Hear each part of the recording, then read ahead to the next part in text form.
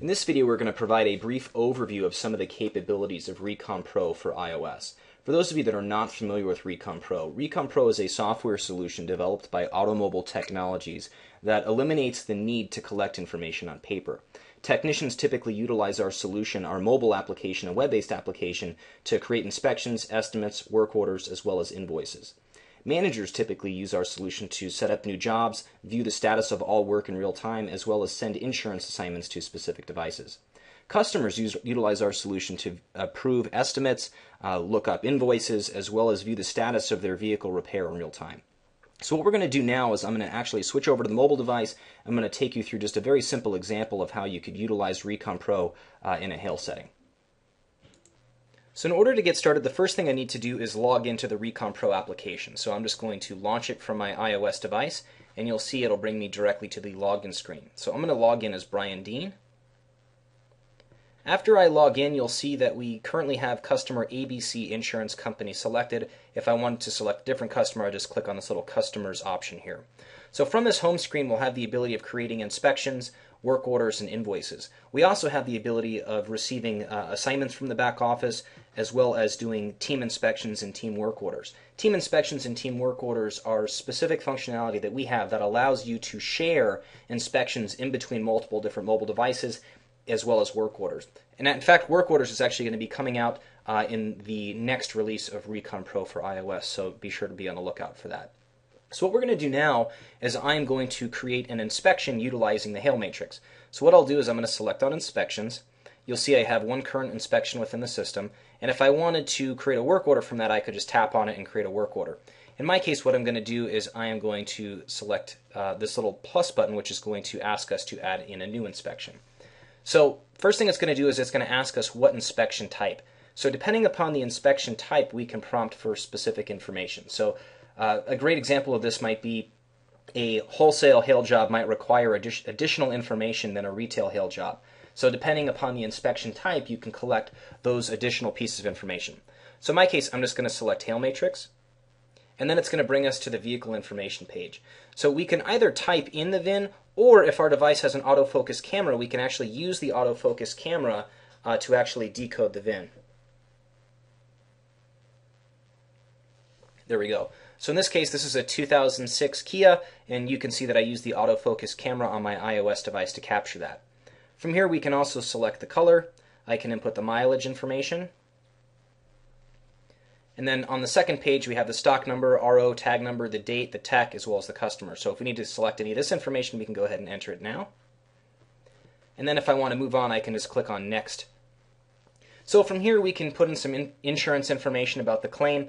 Um, in this case, this is just a question form that we've built uh, specifically to collect uh, insurance information nice and easy. If I go ahead and select that, I can you can see that we have State Farm in there. I can put in the claim number, the policy number, whatever the deductible might be, and the accident date. And again, this is completely configurable from within the Recon Pro back office. So next, I'm just going to click on the next button, and you'll see that we have a price matrix. So this matrix is actually configurable from the back office, and we can accommodate multiple different matrices that can be used in conjunction with one another uh, in real time on these devices. So in this case, let me just go ahead and select the hood, and I'll select the damage size and the damage severity. And you'll see that it automatically brings up the price, which we can override if we need to, and we can specify whether or not there is any aluminum panels, oversized dents, or an R&I associated with this particular vehicle part. Once we're ready, I can just go ahead and click on Save, and you'll see it added in the price, and it has my subtotal down here. If we wanted to add in additional vehicle parts, we would just follow that same order and add them specifically to the vehicle. In this case, what we're going to do is I'm just going to click on Next, and you'll see I have a separate price matrix in here. We can have multiples. Second piece in here is a job site location. This is a configurable question form that we wanted to collect uh, specifically associated with this inspection type. And then we can ask whether or not we have any required photos. So if I want to capture an image of the front right, I can select the camera. There we go. There's a nice thumbs up for collecting uh, information on an iOS device. And once we're ready, I can just go ahead and click on Done, and that'll save our automotive inspection. There we go. So as you can see, we have that uh, inspection number two from the 16th, Total price is $34. Now if I would like to create a work order, what I'll do is I'll just click and hold on that. And it's going to ask me if I would like to create a work order. I can view the details, I can edit it, I can print it, I can send it as an email, I can assign it, I can show notes, and show pictures. And we can also, if you like, depending upon how the inspection type is configured, we can actually require a digital signature prior to this inspection being approved into a work order. So let me go ahead and select Create Work Order. And from here, it's going to ask us what service package we would like to associate with this work order. In my case, I'm just going to select All Services. And it's going to copy over all of the information from the estimate. So you can see the VIN, make, model, year, mileage, all that information is going to be copied over from the estimate to the work order. It'll also reference the estimate number if we'd like, and if we need to put in any RO number or anything like that associated with this, we can do so now. And then from here, it's going to bring us up a full list of all of the services we have in the system because I selected all services, including our uh, including our Hail matrix.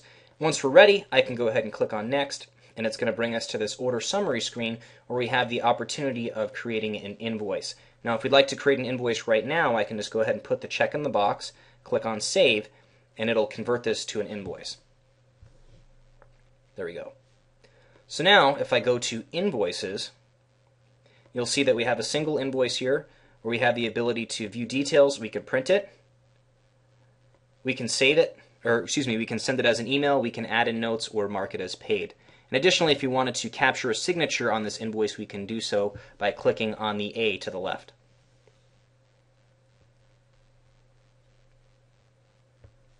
There we go.